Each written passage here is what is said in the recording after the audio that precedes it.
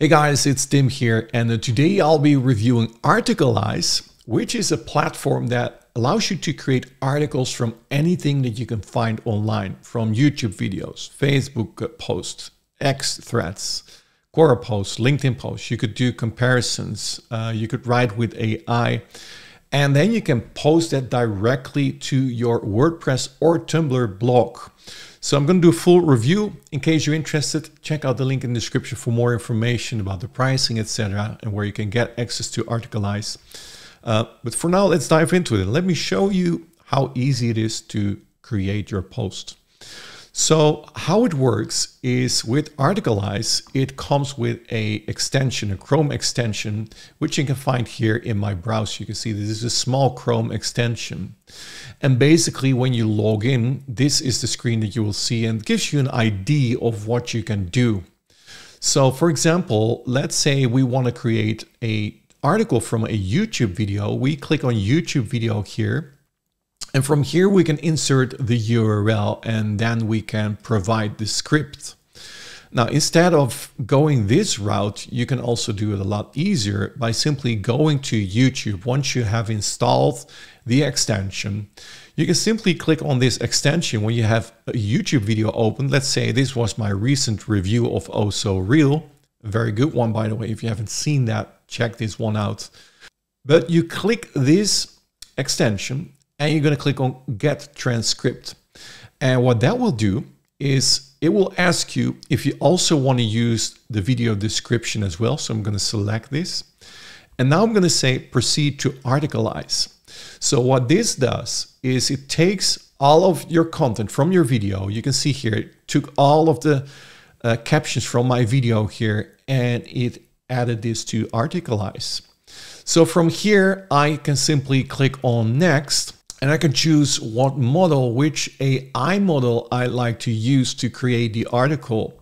So currently OpenAI GPT Mini, uh, the Pro, Flash, Mistral, Ministral, Claude Sonnet, uh, and Llama and Grok are supported. Personally, I really love Claude Sonnet 3.7. Uh, this one writes really well. Uh, language, you could choose from the supported languages that you're seeing right here. And then you can decide if you want to have a table of content, if you want to create images. So in this case, let's say yes, and it's going to create an AI image. And then you can also choose the AI image model. So like Flux, GPT images, ideogram, or Flux. So let's say GPT images here.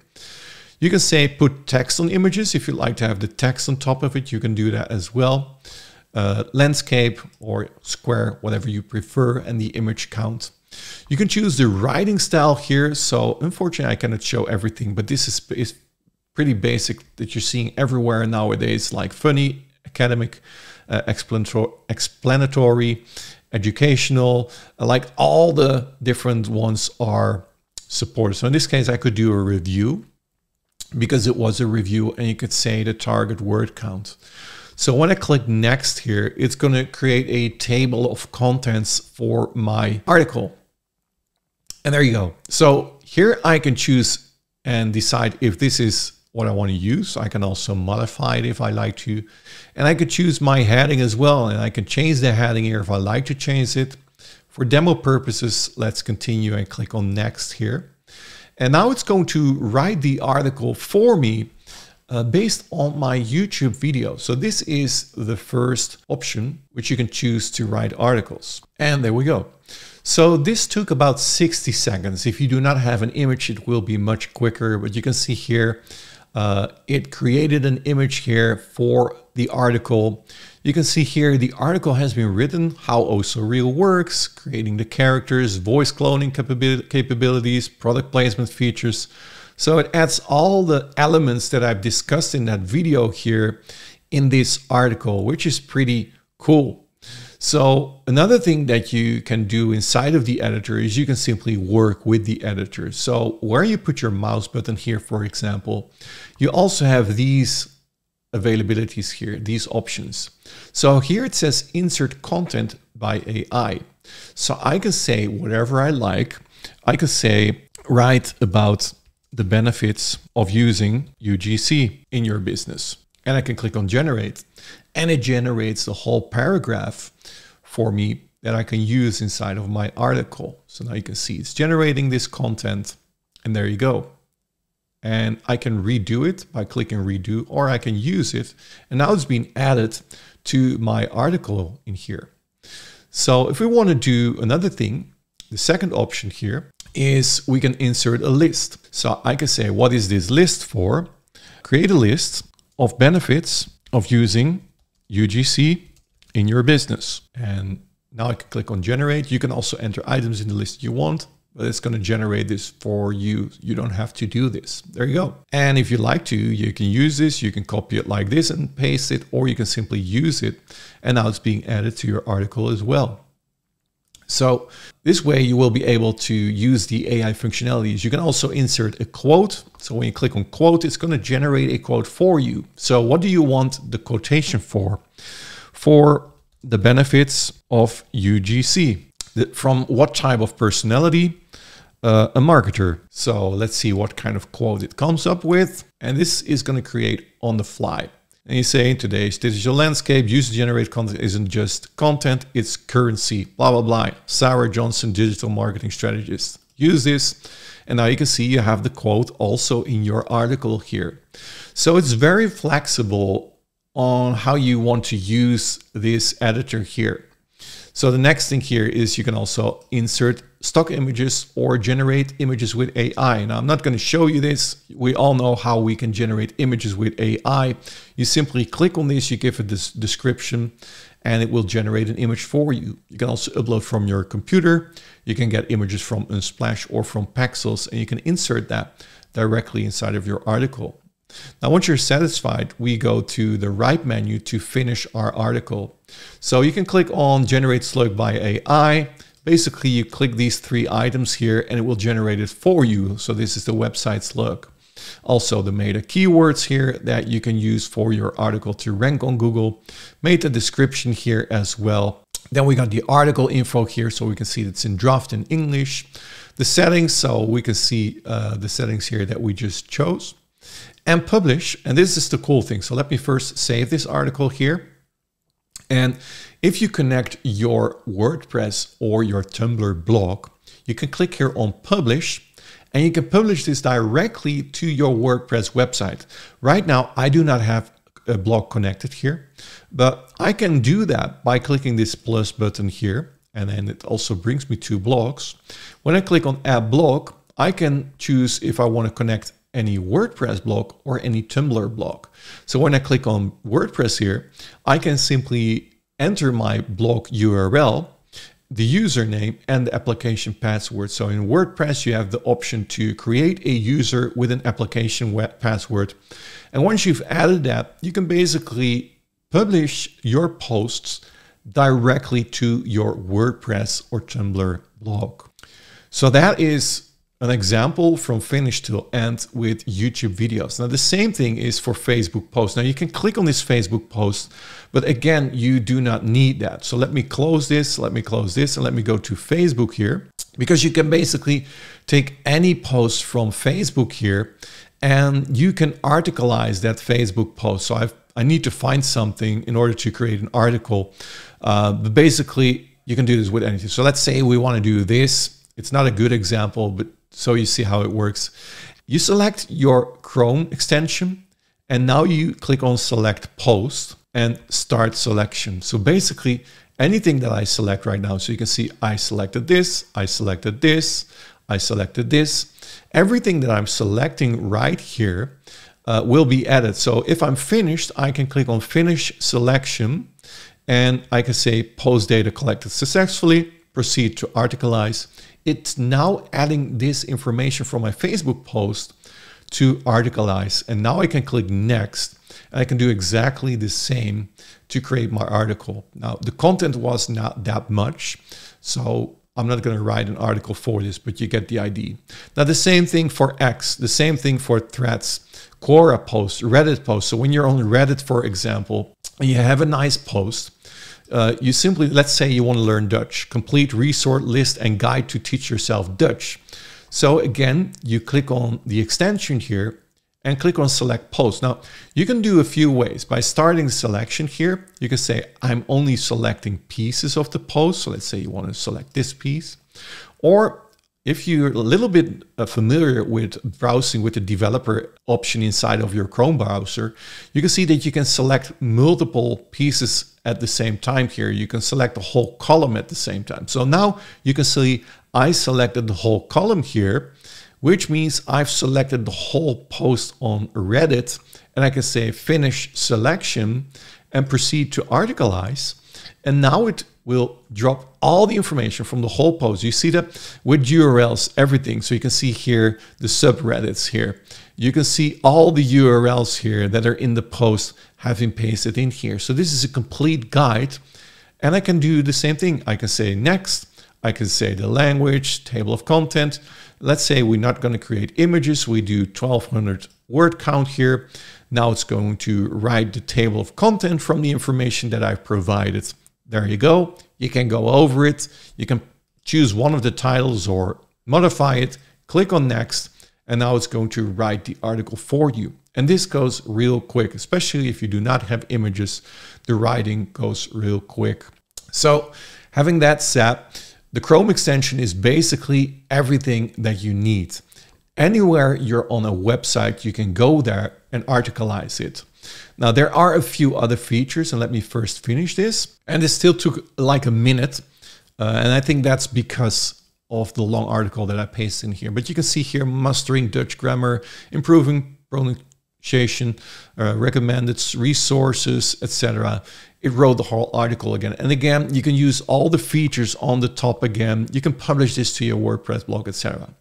Now let me show you a few other features that are also in Articalize, which I think is cool, is the product review. So when you go to product review, you can basically enter all your product information in here. So let's say you go to Amazon and we search for an article. It could be anything. So let's say we just click on here till we, let, us do this one. So you can simply take this information from this page here. You can paste the product information in here and then the features, you can also go to the features here. So let's say these are the features of this product here. You can paste that in here. You can click next. And now you can also paste reviews in here. So when you scroll down to the review parts on Amazon here, you can copy the reviews. So this, in this case, this is Dutch, but it doesn't matter for demo purposes. You can paste one review of a customer in here. So you can click here on add review and you can add another review. So you can say this is second review here. I'm going to paste it in here. If you want to add another review, you can do the same. So let's say we're going to do a little longer one. This is the longer one here. And there you go. And we're going to click next. Now, normally this would be English. Um, if you're writing in English, let's see if we can write this in Dutch actually. So let me select Dutch here. And then let's keep the rest the same. Let's click on choose style. So I'm going to do a review style here and I'm going to click next. And fast forward, you can see here that it created this article here for me, this review of this product. So that's another feature to write reviews. And here you can see the overview of all the articles that you've created inside of the writer.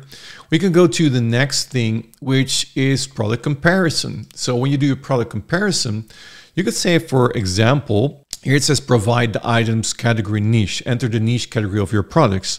So phone comparison and then product review intro. Uh, discover if Samsung or iPhone is the way to go for you. I don't know whatever.